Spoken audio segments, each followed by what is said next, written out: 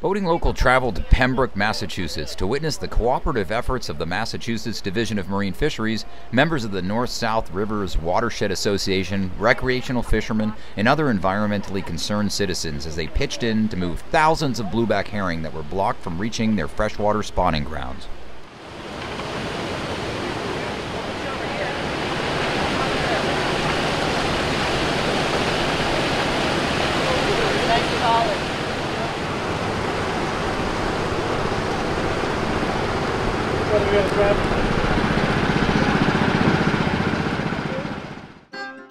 The herring stacked up below the dam at Upper Mill Pond, also known as Glover Mill Pond, travel from Cape Cod Bay into the North River, then up through a system of bogs and into tiny, shallow Herring Brook, a distance of over 12 miles.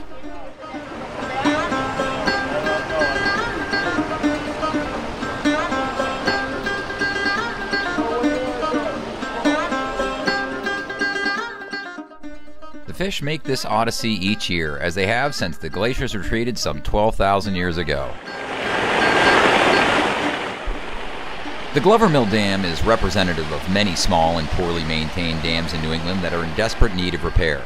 While a new fish ladder is scheduled to be installed this summer, this year's herring would once again need to be removed from the river by hand and shuttled by truck to their spawning grounds in Oldham Pond. At 10:30, the volunteers began herding the herring upriver to concentrate them in the section of the river immediately below the dam.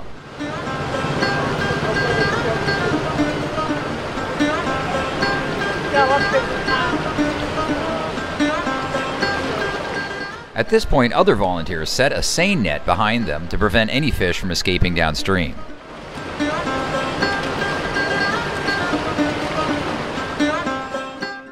When everyone was in position, the herring were scooped up in large nets and passed by hand to the tanker truck at the top of the dam.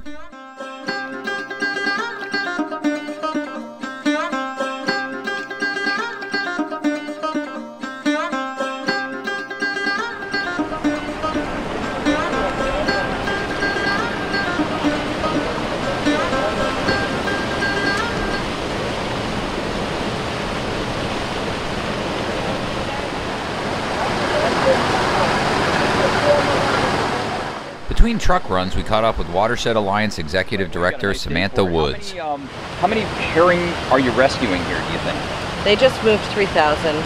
That was what we just picked up. Um, the time before we did 4,300.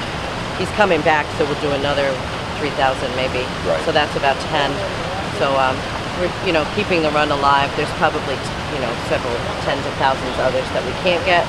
They, there is some habitat downstream that they can access, but we want to keep the population strong here, and they will return to their natal spawning ground. So you want to get them to, uh, so the babies will come back Sure. in three years to this place. How about in terms of the herring after they're done spawning?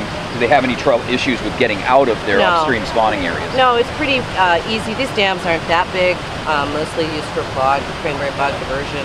Um, this one's a little bit of a jump, but uh, they'll be okay. They can make it back out. They're pretty hardy. They are actually fairly, fairly hardy.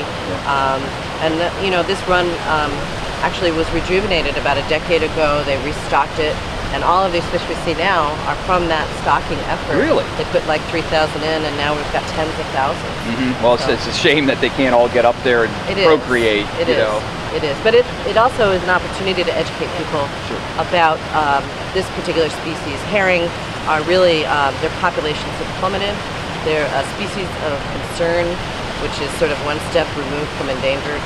Um, they not only have trouble accessing their spawning grounds because of dams and fish ladders that may or may not work, or no fish ladder at all. Um, one of the things the Watershed Association is trying to do is to try to restore uh, these runs and try to um, either, if a fish ladder is necessary, try to advocate to get that done, uh, or if possible, remove the dam, because that's really the, the ideal situation. You don't have to keep paying to fix a fish ladder or maintaining it. Uh, obviously, that's not possible in every case. Right. Um, but they also suffer uh, quite a bit of mortality out to sea. They're getting picked up by trawls out to sea, and there's quite a bit of effort undergoing right now to try to monitor and, and ameliorate that situation, uh, so that we don't have basically the herring go the way of the salmon, which is possible. And they're very important. They are the base of the food chain. If you like striped bass, This is what striped bass eat. If you like bluefish, I mean, this is the little fish that all the other things like to come chase in.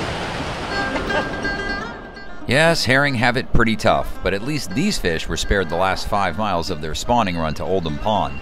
Next year might be a different story.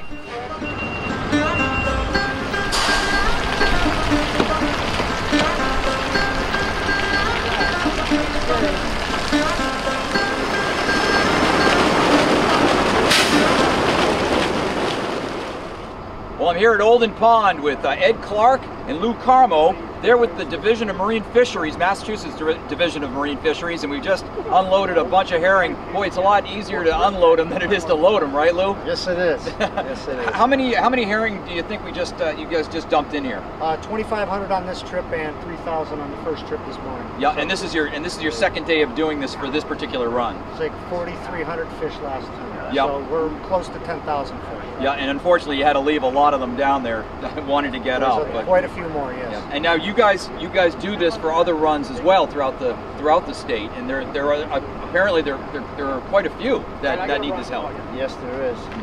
Yep. It's just me and Ed. We take care of the whole entire state from New Hampshire all the way down to Rhode Island. And, Oh, really? and Yeah. we, we get a lot done, believe it or not, for two guys. But Yeah. Well, you guys are, are real herring heroes.